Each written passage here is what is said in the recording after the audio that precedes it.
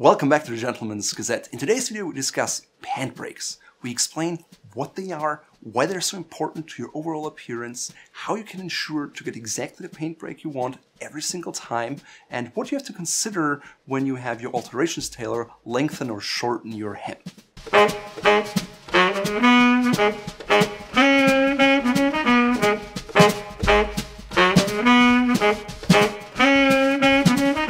First of all, what's a break? We talk about the break when the front of your pants or trousers hits your shoe and creates a little dent that is elegant and not too extreme. The best way to evaluate your break is when you stand still. We talk about no break when the hem of your pants just hangs straight and doesn't even touch your shoe at all. We talk about a half break if you see a slight dent in the front and we talk about a full break if you have a noticeable dent in the front of the pants, but none in the back.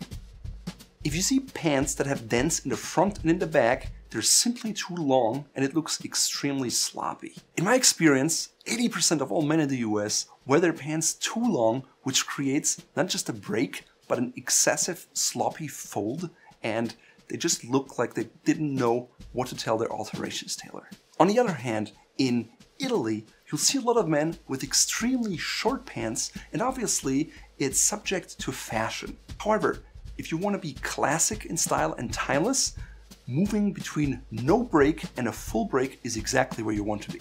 So why should you care about the break in your pants? First of all, it really has an impact on the overall neatness of your outfit. If you wear a nice rope stripe double-breasted suit the way I'm wearing here right now, and your pants are either too long or too short, it makes you look goofy or sloppy. Also, if you're a tall man and you have very short pants, it exaggerates your height and you look even taller and sometimes like a clown. Also, if you have a certain pair of socks that you want to show off, maybe a half break is exactly what you want because with a full break, your socks wouldn't be visible at all in most situations. What's important to understand is there is no absolute right or wrong with pants breaks. Some men, especially in the US, assume that right now all young men wear their pants too short. However, if you go back to the 60s, you can see sometimes even shorter pants with no break at all. To determine what break is right for you, you have to first look at your pant hem. Is it cuffed or is it uncuffed? If it's cuffed, or the English say it has turn-ups, that means you need less of a break. I'd suggest to go without break at all or just with a slight break, never with a full break because it just looks off. If your pants or trousers are uncuffed, you should go with a half break or a full break. If you have uncuffed pants and you go with no break, it simply looks too short and the lack of weight means that your pants will probably get stuck to your socks and stay further up. If you wear cuff pants, you already have an advantage because you have more weight, which pulls down your trousers more and it just creates a cleaner line and therefore you can have a shorter pants length and less of a break. If you prefer uncuffed trousers, you could talk to an alterations tailor and add little lead weights to the sides of your pants. That way you have the same effect as with a cuff trouser and you can get a very neat look. The other element to consider when getting your pants hemmed is the actual circumference or the width of your hem. If you have very tight pants in the hem, you cannot have as much as a break as if you have full cut trousers in a 1930s style. Why? It's because break means it touches the top of your shoe. Now, with a tight pair of pants, they touch your shoe a lot earlier than with a wider cut pair of pants where they touch it at the bottom of your laces. So when you have pants hemmed, you can't just give your alterations tailors five pairs and say, oh, just hem them all to 31 and a half inches, because you also have to consider how wide they are. The wider the pants are, the longer you can hem them the slimmer and tighter they are, the shorter you have to hem them. If you have uncuffed trousers in a wide full cut style, you have to cut them a little wider, but keep in mind, even with a full break, you just want a nice one in the front and none in the back.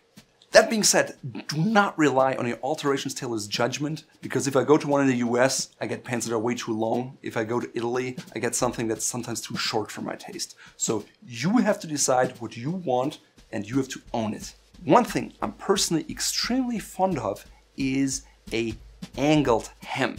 This is something you usually only find in bespoke garments, especially when it's a cuffed angled hem. If you have a straight hem on a pair of pants and they're long and unfinished, you can simply bring up the extra fabric, create a cuff of your desire, and you're done.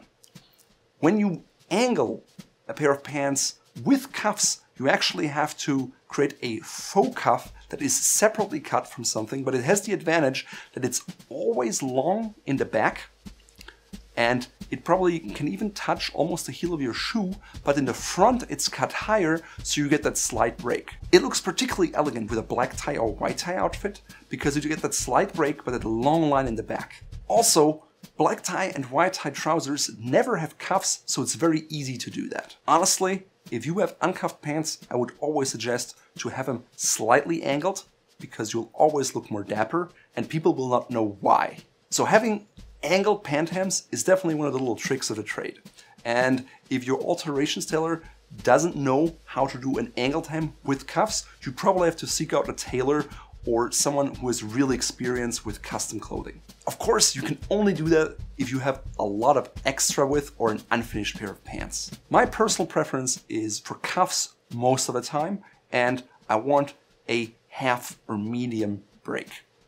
Ideally, I want the back of my pants to be longer than the front, so I always go for the angle, especially when I have uncuffed dress pants and particularly for all kinds of evening wear.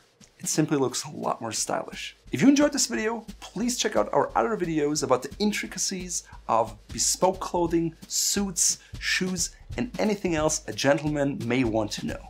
You can also subscribe to our channel here, and if you do, make sure to hit that little bell after you subscribe.